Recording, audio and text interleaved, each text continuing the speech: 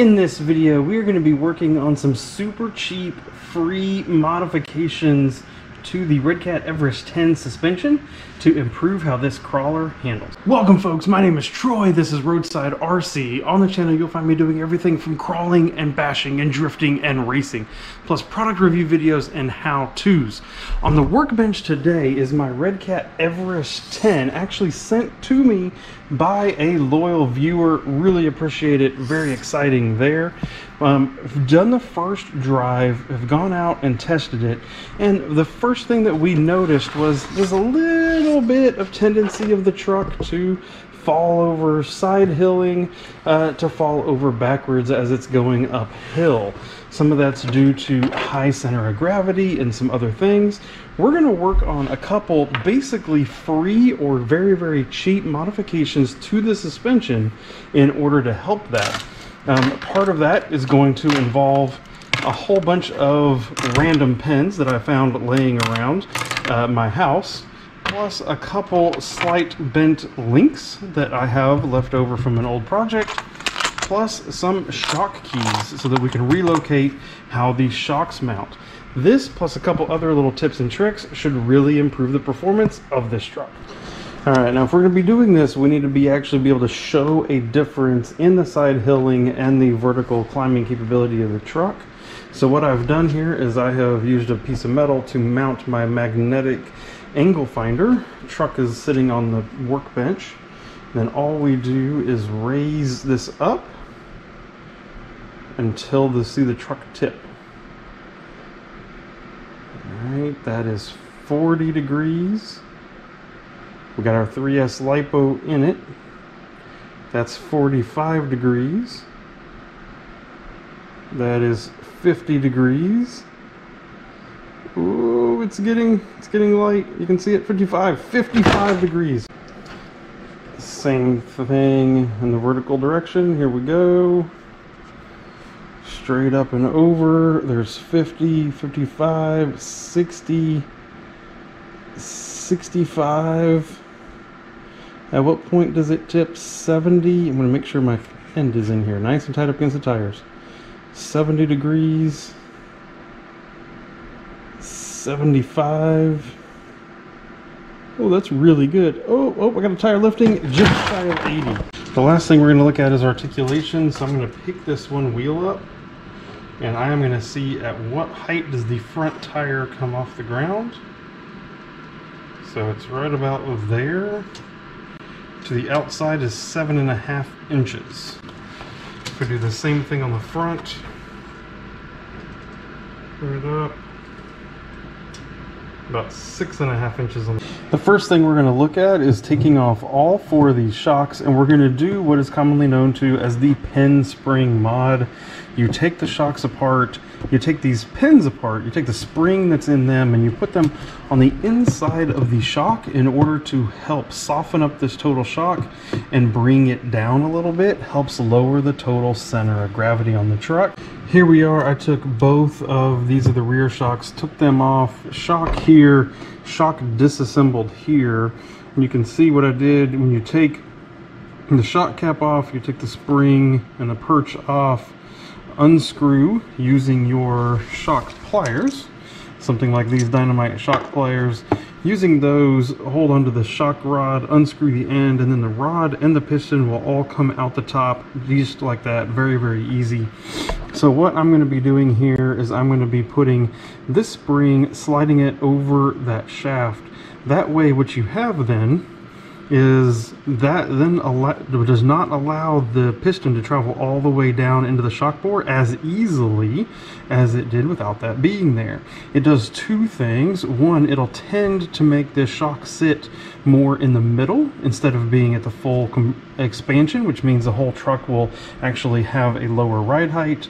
Um, plus, it actually, since it's working against this spring, it'll actually, in essence, soften the uh, total spring rate of the shock assembly. I am going to be putting one spring per shock, just like you see here. There are some folks that will actually end up doing a two spring per shock situation and really providing some preload in it. There are some other folks that put a spacer and then the spring in here in order to help adjust that.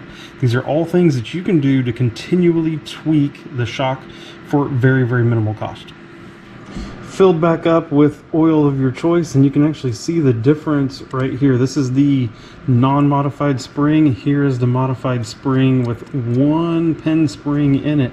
So just a little bit shorter there, right? About a little over a quarter inch. What is that looking like? A little over 10 millimeters different. Both rears are now done. Definitely sets the truck down just that little bit that we talked about, right? Just a little bit. We're not looking for big changes here. Just a little change here at first. Uh, as I do the fronts, you can see I'm already starting to take front off here. The other thing we're looking at is the rear control arms on the bottom here are curved, which is really, really good for clearance. When you look at the front control arms, bone straight, absolutely, completely straight. Um, but you can get another pair of the rears from Redcat for a very cheap amount of money. For some reason, I actually happen to have a pair that look exactly like Redcat bent links, except they're just silver instead of this uh, kind of more bronze color. And so as I take these front shocks off, I'm going to be swapping these over. That just helps provide that little bit more clearance so that you don't get hung up on the rocks with those links. All four shocks, single pen mod now done already we've lowered the center chassis of this vehicle almost a half inch just with that being done on all four corners. Now it's time to relocate the upper shocks with these shock mounts. My goal with these shock keys which are, are quite nice and i'll provide you a link down below to where you can purchase them. They're quite nice and they're quite cheap. My goal with these on the front is going to be to assemble them something like this to actually help move that front shock outward more, that is going to help a little bit st stabilize the front suspension on this vehicle. The other thing I want to do with it is I want to raise where that front shock is actually mounted. Again, that's going to just help lower this whole center chassis where all the weight is. The kit does not come with any kind of hardware, so you will be reusing the hardware you have here, but you're also going to need to find a couple more sets of uh, bolts plus nuts in order to mount them appropriately. Wow, now that, that is a pretty big difference there side to side. Check that out. Look at how much that shock is pushed forward, how much it is up. That is a big deal. So it is time we're going to do it for this other side and see how much it drops that total down. After going back and forth and testing it a little bit, I ended up putting the shock keys in the same orientation, both front and rear. You can see it has dropped this chassis down so much. I can't even hardly get my fingers in underneath it right now. Um, if you do get these shock keys, you can see the shock is in the outermost hole and it is in the two holes provided on the chassis from the factory one hole in each one of here. You can see that detail there where those are mounted. For me this is actually quite fun. Now you look at that truck that truck looks just mean with how low it is. But what's kind of funny is I can't actually get the body down into the holes that it was previously already as low as because in the factory holes these shocks are currently hitting the body so what I'm going to do, because it's going to look cool, is I'm going to come up here and actually cut out where that shock will go through the body. And then we can continue to drop this body down further and further and really get that just laying just super low and make this truck look very, very mean. So look at this. I got the holes cut. The shocks are poking out of the back of the bed. That actually, to me, looks pretty cool. Noticing that the front still clears everything when it comes to the body. The rear was hitting the rear corner of this cab even before I did this. Um, so it needed to be cut off and trimmed a little bit anyway, but I am going to wait because I want to put different wheels on here that I want to try to space out even more if possible. And I'm hoping if I do that, it'll just clear this body and I won't need to trim it. Now to prove to see if our work was worth it, this angle right here, this truck flipped over at 55 degrees the first time. And so here we are. There is 45. There's 50. Okay, there's 55. So that's the angle that it flipped over at before. Now we're gonna go, oh, it's getting light, it's getting light it's 60, oh, 60 degrees. So we gained five degrees on the side hill. This is gonna be hard to beat. On the, on before, it was 75 degrees when it tipped over. So we're gonna go straight up there. We are at 70. We're at 75. Oh my gosh, that's 80 degrees. That's 80 degrees and that truck is sitting dead up. Look at that, 80, 80 degrees. What is it gonna do? What is it gonna do? 85 degrees, 85 degrees and it balances. Oh man. Now lastly, we should have actually also reduced total flex a little bit, which honestly for this truck is a good thing. So let's see, we had seven and a half inches before the front tire came off before, and we are now at four significantly down. We were at six and a half for the front, and we are at four also. So we're symmetrical front and rear now, which is nice. But yeah, we lost a lot of total flex. But I tell you what, I bet this truck is going to do a lot better out on the crawler course. We should get out there and give it a shot.